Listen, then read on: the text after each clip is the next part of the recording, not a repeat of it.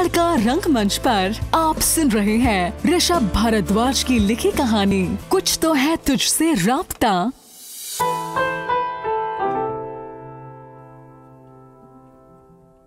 ख्यालों के हवालों से एक दास्तां सुनोगे तुम भी क्या? मुफलिस हर जज्बातों में किस रूह को छुआ है तुमने क्या? लाखों अरमान लेकर, मुस्कान लेकर, सीने में तूफ़ान लेकर बढ़ता ही चला। कुछ तो है तुझसे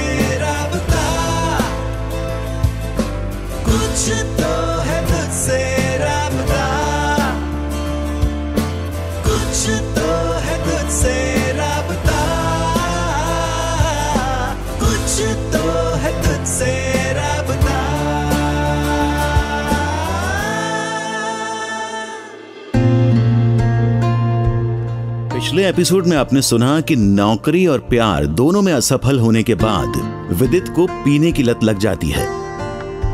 पीने की गंदी लत के कारण उसने अपनी बची कुची सारी सेविंग्स उड़ा दी हैं। मकान मालिक का तीन महीने का किराया बाकी है।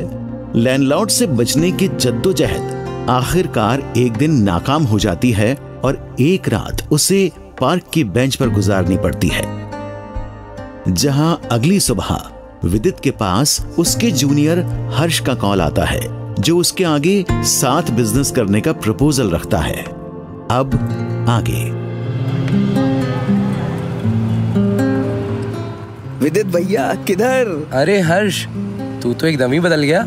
कॉलेज में तो कैसे चोमू जैसे रहता था। अब तो अंतरप्रेन्योर बनने के सपने देखने चला है। सब आपकी वजह से है भैया। जब आपने शहर छोड़ के दिल्ली आने का रिस्क लिया उसके कुछ टाइम बाद मेरा भी मन हुआ कि बड़े शहर में जाके अपनी किस्मत आजमाऊं। इस शहर की चकाचौंध में कहीं खो मत जाना। अब आप मिल गए अब खोएँगे थोड़े ना। अच्छा वो सब छोड़। क्या प्लान है?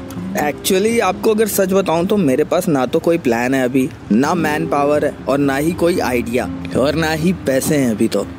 बस दिमाग में एक चीज़ है कि कुछ बड़ा करना है। चाचा दो चाय देना। वाह मेरे अंतरप्रेन्योर बिना किसी प्लान के तू यहाँ तक आ गया। एक काम कर तू ना चाय की टपरी खोल ले। हद है यार। अब क्या बोलूँ भैया? बिज़नेस के लिए सबसे पहले प्रॉब्लम ढूंढ। फॉर एग्ज़ाम्पल मान के चलो हम लोग अपना एक कैफ़े खोलते हैं। इट्स 2009 बट स्टिल ये बड़े कैफेज अक्सर नीचे क्लास या कहें अपर मिडिल क्लास लोगों को टारगेट करते हैं। क्यों ना कुछ ऐसा किया जाए जिससे हमारे जैसे सामान्य परिवार से आए लोग भी बढ़िया से कैफ़े में चाय पीते पीते एक हाई क्लास एम्बियंस का मज़ा ले सके। बात में दम तो है भैया पर हमारे कैफ़े की यूएसपी क्या होगी? सब मैं ही सोचूं। अच्छा रुक।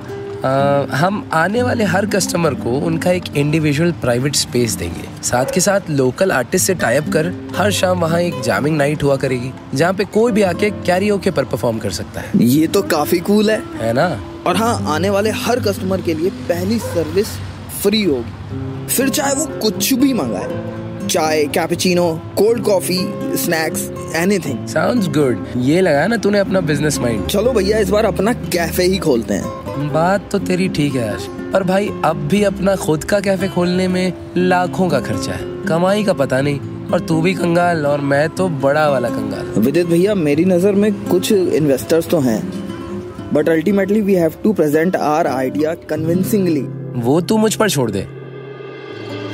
तो फिर चला क्या तुम्हारा कैफ़े? चला?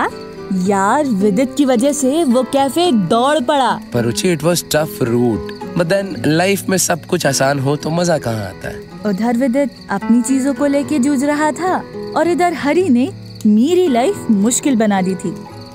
एक दूसरे के हाल से बेखबर एक दिन विदित का मेरे पास कॉल आया। हाय रुचि। विदित? क्या बात है? तुम मेरी आवाज़ पहचान गई? हम्म, लग तो नहीं रहा। वैसे राघव ने मुझको सब बताया है। छोड़ो ना विदित। उन सब बातों का अब कोई फ़ायदा नहीं। तुम बताओ कैसे कॉल किया था? सब ठीक है? हाँ मैं ठीक हूँ रुचि। मैं सोच रहा था कि तुम्हें कॉल करके पूछ लूँ कि तुम मिलोगी या नहीं। थोड़े दिन बाद मिले क्या? सच बताऊँ तो मेरा अभी मन नहीं किसी से मिलने का। ओह तो इस रूट की लाइन अभी अपने ख्यालों में व्यस्त है? या कहूँ कि ओवर थिंकिंग में मस्त है? क्या? क्या क्या? ये वो रुचि तो है ही नहीं जो हर इमोशंस को अपने बस में कर लेती थी। ये तो वो रुचि है जो अपने इमोशंस के बस में आ गई है। बड़ा है इमोशन समझने वाले। हाँ जो भी कह लो पर मिलो। अच्छा ठीक है। पर कहाँ? अम, ये जो कैफ़े आ जाओ मालवीय नगर में। ये जो कैफ़े है इसका नाम ही है ये जो कैफ़े और ये जो कैफ़े की एक कप चाय हर मुश्किल आसान हो जाए। ओके बाबा आई एम कमिंग